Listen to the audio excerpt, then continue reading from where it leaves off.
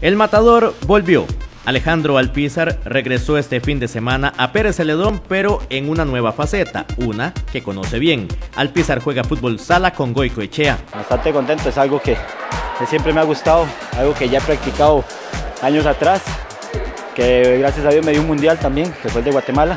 Alejandro tuvo un paso por el municipal de Pérez Celedón y tiene buenos recuerdos de este cantón, donde dice tener grandes amigos. Este pueblo, pues eh, he estado mucho tiempo aquí, viví mucho tiempo aquí, tenemos grandes amigos aquí, eh, no solo mi persona, sino mi familia.